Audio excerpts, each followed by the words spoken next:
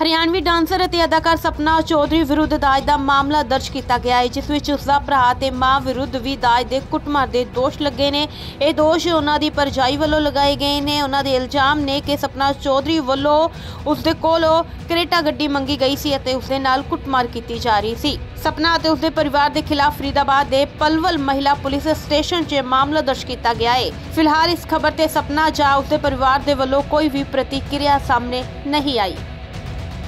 Haryanvi dancer ਅਤੇ ਅਦਾਕਾਰ ਸਪਨਾ ਚੌਧਰੀ ਵਿਰੁੱਧ ਦਾਜ ਦਾ ਮਾਮਲਾ ਦਰਜ ਕੀਤਾ ਗਿਆ ਹੈ, ਜਿਸ ਵਿੱਚ ਉਸ ਦਾ ਭਰਾ ਤੇ ਮਾਂ ਵਿਰੁੱਧ ਵੀ ਦਾਜ ਦੇ ਕੁੱਟਮਾਰ ਦੇ ਦੋਸ਼ ਲੱਗੇ ਨੇ। ਇਹ ਦੋਸ਼ ਉਹਨਾਂ ਦੀ ਪਰਜਾਈ ਵੱਲੋਂ ਲਗਾਏ ਗਏ ਨੇ। ਉਹਨਾਂ ਦੇ ਇਲਜ਼ਾਮ ਨੇ ਕਿ ਸਪਨਾ ਚੌਧਰੀ ਵੱਲੋਂ ਉਸ ਦੇ ਕੋਲੋਂ ਕਰੇਟਾ ਗੱਡੀ ਮੰਗੀ ਗਈ ਸੀ ਅਤੇ ਉਸ ਦੇ ਨਾਲ ਕੁੱਟਮਾਰ ਕੀਤੀ ਜਾ ਰਹੀ ਸੀ। ਸਪਨਾ ਅਤੇ ਉਸ ਦੇ ਪਰਿਵਾਰ ਦੇ ਖਿਲਾਫ ਫਰੀਦਾਬਾਦ ਦੇ ਪਲਵਲ ਮਹਿਲਾ ਪੁਲਿਸ ਸਟੇਸ਼ਨ 'ਚ ਮਾਮਲਾ ਦਰਜ ਕੀਤਾ ਗਿਆ ਹੈ। ਫਿਲਹਾਲ ਇਸ ਖਬਰ ਤੇ ਸਪਨਾ ਜਾਂ ਉਸ ਦੇ ਪਰਿਵਾਰ ਦੇ ਵੱਲੋਂ ਕੋਈ ਵੀ ਪ੍ਰਤੀਕਿਰਿਆ ਸਾਹਮਣੇ ਨਹੀਂ ਆਈ। ਹਰਿਆਣਵੀ ਡਾਂਸਰ ਅਤੇ ਅਦਾਕਾਰ ਸਪਨਾ ਚੌਧਰੀ ਵਿਰੁੱਧ ਦਾਜ ਦਾ ਮਾਮਲਾ ਦਰਜ ਕੀਤਾ ਗਿਆ ਹੈ, ਜਿਸ ਵਿੱਚ ਉਸ ਦਾ ਭਰਾ ਤੇ ਮਾਂ ਵਿਰੁੱਧ ਵੀ ਦਾਜ ਦੇ ਕੁੱਟਮਾਰ ਦੇ ਦੋਸ਼ ਲੱਗੇ ਨੇ। ਇਹ ਦੋਸ਼ ਉਹਨਾਂ ਦੀ ਪਰਜਾਈ ਵੱਲੋਂ ਲਗਾਏ ਗਏ ਨੇ। ਉਹਨਾਂ ਦੇ ਇਲਜ਼ਾਮ ਨੇ ਕਿ ਸਪਨਾ ਚੌਧਰੀ ਵੱਲੋਂ ਉਸ ਦੇ ਕੋਲੋਂ ਕਰੇਟਾ ਗੱਡੀ ਮੰਗੀ ਗਈ ਸੀ ਅਤੇ ਉਸ ਦੇ ਨਾਲ ਕੁੱਟਮਾਰ ਕੀਤੀ ਜਾ ਰਹੀ ਸੀ। ਸਪਨਾ ਅਤੇ ਉਸ ਦੇ ਪਰਿਵਾਰ ਦੇ ਖਿਲਾਫ ਫਰੀਦਾਬਾਦ ਦੇ ਪਲਵਲ ਮਹਿਲਾ ਪੁਲਿਸ ਸਟੇਸ਼ਨ 'ਚ ਮਾਮਲਾ ਦਰਜ ਕੀਤਾ ਗਿਆ ਹੈ। ਫਿਲਹਾਲ ਇਸ ਖਬਰ ਤੇ ਸਪਨਾ ਜਾਂ ਉਸ ਦੇ ਪਰਿਵਾਰ ਦੇ ਵੱਲੋਂ ਕੋਈ ਵੀ ਪ੍ਰਤੀਕਿਰਿਆ ਸਾਹਮਣੇ ਨਹੀਂ ਆਈ। ਹਰਿਆਣਵੀ ਡਾਂਸਰ ਅਤੇ ਅਦਾਕਾਰ ਸਪਨਾ ਚੌਧਰੀ ਵਿਰੁੱਧ ਦਾਜ ਦਾ ਮਾਮਲਾ ਦਰਜ ਕੀਤਾ ਗਿਆ ਹੈ, ਜਿਸ ਵਿੱਚ ਉਸ ਦਾ ਭਰਾ ਤੇ ਮਾਂ ਵਿਰੁੱਧ ਵੀ ਦਾਜ ਦੇ ਕੁੱਟਮਾਰ ਦੇ ਦੋਸ਼ ਲੱਗੇ ਨੇ।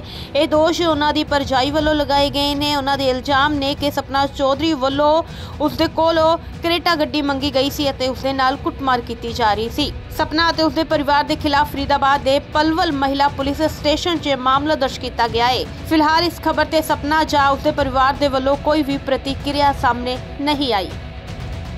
ਹਰਿਆਣਵੀ ਡਾਂਸਰ ਅਤੇ ਅਦਾਕਾਰ ਸਪਨਾ ਚੌਧਰੀ ਵਿਰੁੱਧ ਦਾਜ ਦਾ ਮਾਮਲਾ ਦਰਜ ਕੀਤਾ ਗਿਆ ਹੈ, ਜਿਸ ਵਿੱਚ ਉਸ ਦਾ ਭਰਾ ਤੇ ਮਾਂ ਵਿਰੁੱਧ ਵੀ ਦਾਜ ਦੇ ਕੁੱਟਮਾਰ ਦੇ ਦੋਸ਼ ਲੱਗੇ ਨੇ।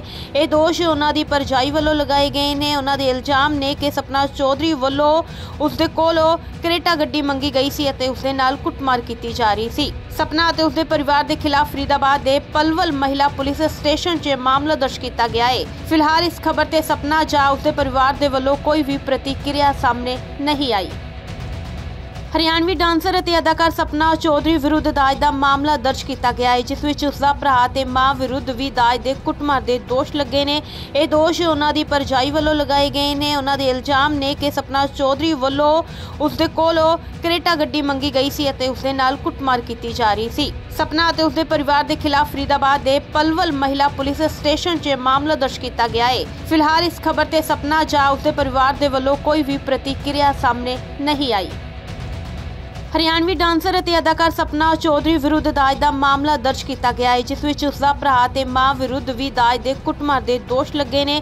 ਇਹ ਦੋਸ਼ ਉਹਨਾਂ ਦੀ ਪਰਜਾਈ ਵੱਲੋਂ ਲਗਾਏ ਗਏ ਨੇ। ਉਹਨਾਂ ਦੇ ਇਲਜ਼ਾਮ ਨੇ ਕਿ ਸਪਨਾ ਚੌਧਰੀ ਵੱਲੋਂ ਉਸ ਦੇ ਕੋਲੋਂ ਕਰੇਟਾ ਗੱਡੀ ਮੰਗੀ ਗਈ ਸੀ ਅਤੇ ਉਸ ਦੇ ਨਾਲ ਕੁੱਟਮਾਰ ਕੀਤੀ ਜਾ ਰਹੀ ਸੀ। ਸਪਨਾ ਅਤੇ ਉਸ ਦੇ ਪਰਿਵਾਰ ਦੇ ਖਿਲਾਫ ਫਰੀਦਾਬਾਦ ਦੇ ਪਲਵਲ ਮਹਿਲਾ ਪੁਲਿਸ ਸਟੇਸ਼ਨ 'ਚ ਮਾਮਲਾ ਦਰਜ ਕੀਤਾ ਗਿਆ ਹੈ। ਫਿਲਹਾਲ ਇਸ ਖਬਰ ਤੇ ਸਪਨਾ ਜਾਂ ਉਸ ਦੇ ਪਰਿਵਾਰ ਦੇ ਵੱਲੋਂ ਕੋਈ ਵੀ ਪ੍ਰਤੀਕਿਰਿਆ ਸਾਹਮਣੇ ਨਹੀਂ ਆਈ।